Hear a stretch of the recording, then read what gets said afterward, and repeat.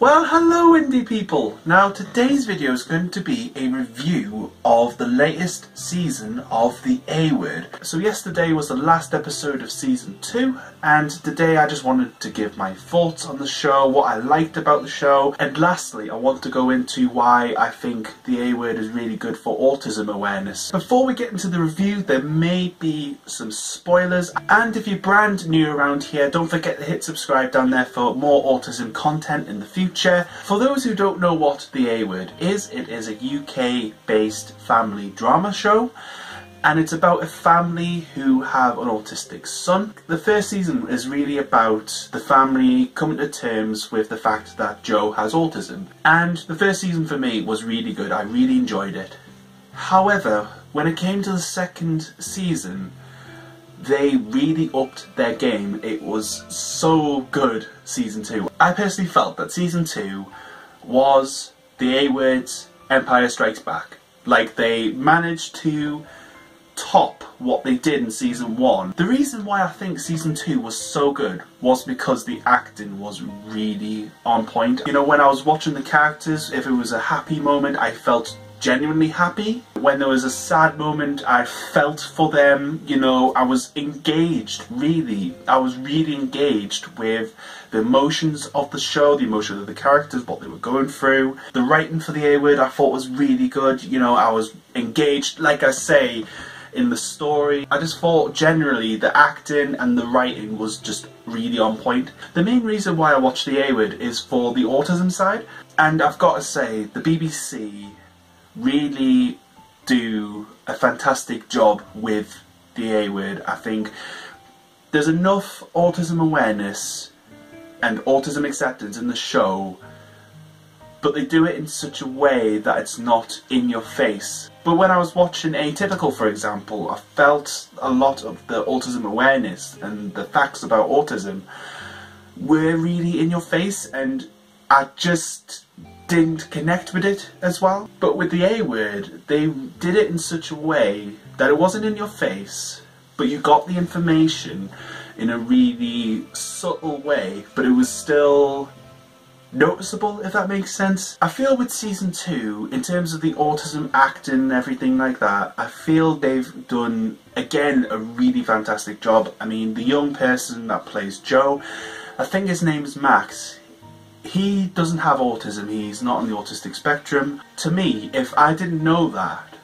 for me personally, I wouldn't have been able to tell. For me, when I'm watching shows about autism, they have to be really believable, and for me, uh, Max, who plays Joe, does a really fantastic job.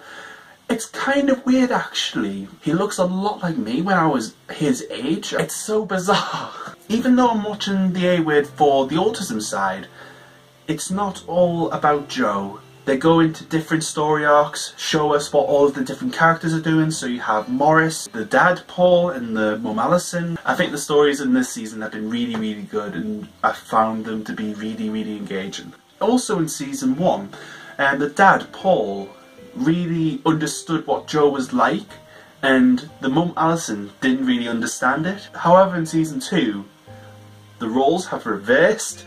And for me, this was really good because in season one, I didn't really connect with Alison as much as I did Paul. In season two, we've got to see a different side to Alison, and I've just really been liking what I've been seeing. This is not to say I didn't like her character in season one, I just think it needed more development, and that's what the A Word have managed to do. They've managed to develop her character and do a bit of role reversal, which is I think it's worked out quite well. Also with this season we've got to see Joe exhibit more autistic behaviours, so we've got to see him uh, stimming, so rocking backwards and forwards. There was the whole scene in the car where his iPod didn't work, so Alison put on the radio for him, and it ended up being Blossoms, who are an absolutely amazing band. Like, that's another thing I'm going to have to get into. When the song finished on the radio, he wanted it to play again, like he wanted to hear it again, but obviously because it's a radio, that can't happen. And it kind of just shows how something so small like that can escalate a person with autism. I, I just think they did that sort of thing really well. Now, one of my most memorable character engagements throughout the entire season was Maurice and his love interest's son, Ralph. The chemistry that Maurice and Ralph have is just fantastic to watch on screen. It was funny, it was humorous, it was just everything that I expect from a British drama slash comedy. It was really on point. I just loved that engagement. That was one of the standout moments for me in the A Word. The soundtrack for the A Word in season one was absolutely fantastic. It was my style. Of, it's my style of music. This year, they've just upped their game. I mean, they played Blossoms, and I really like Blossoms. There was one episode where they opened up with the Stone Roses she bangs the drum. And I was like, oh my god, I love this song so much. You know, the soundtrack in the A-Word is absolutely fantastic, you know, absolute kudos to the writers of the show and everything, you know. There was moments in the show as well where Alison and Paul, so the mum and dad, talked about difficulties of having a son on the spectrum or having concerns about what the future for him will be and I think for parents of autistic children, I think it's a real prospect. You know, what is going to happen with my child in X amount of years' time. I think the A word did a really great job of having that discussion because it wasn't in your face, but it was something to ponder. But it got me thinking about the future, and I think for drama, that's something that's important. You know, a drama is supposed to make you think, make you feel, and I just think the A-Word did a really fantastic job. Also in season 2 they introduced new characters and for me these have been really great additions to the show. There's one character in particular that I want to talk about and that's the character of Mark. Mark in the show plays an autistic teenager. The actual actor is also a person with autism. And this is something I have to praise the BBC, the A Word producers for. You know, it's it's a really fantastic thing that they've taken the time to find someone with ASD and put them in the show. The actor that played Mark did a really fantastic job, and also having that comparison of Joe and Mark and showing how similar but different they are. And this is something that I've been trying to advocate is that not everyone on the spectrum is the same where all different people, you know, the fact that the A word has actually managed to do this I think is a really fantastic thing and I've just got to give them the highest praise. You know, the you know, it was a really great decision and I'm a massive supporter of it. However, there's just one thing that I just didn't really like, to be honest. And that's the whole story with Paul nearly cheating on Alison with Mark's mum. I just didn't really think it was in his nature to do that. So when he nearly cheated on his wife, I felt itchy. I just didn't like it and that was one of the negative things. However, that's the only thing I didn't like about the A word was just that story arc.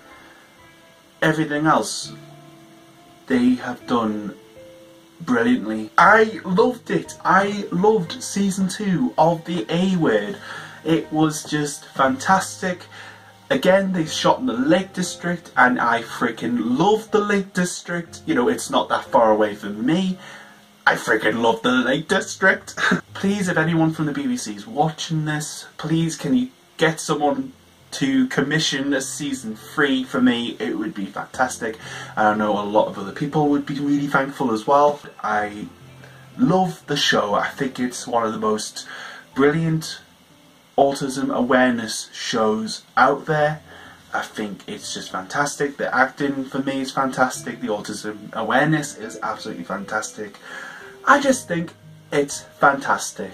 Uh, honestly, guys, I can't recommend the A word enough. I just absolutely love it. And if you're into family dramas, you guys will absolutely love it. I keep saying this, I keep saying this, but it is absolutely fantastic and I can't recommend it enough, I really can't. And with that, that is the end of this review. I hope you've enjoyed it. I hope you go and check out the A Word. You know, like I say, it's really fantastic. And if there's any other autism shows, autism movies, anything like that that you want me to take a look at and review, please let me know down below. It'd be really awesome to check out some new films, some new TV shows. And if you liked this video, give it a big old thumbs up, subscribe for brand new content from me, hit the little ringy bell thing down there so you can get notified. And all I've got to say now is stay you, stay indie, have a great day wherever you are, and I will see you all very soon. See you later guys.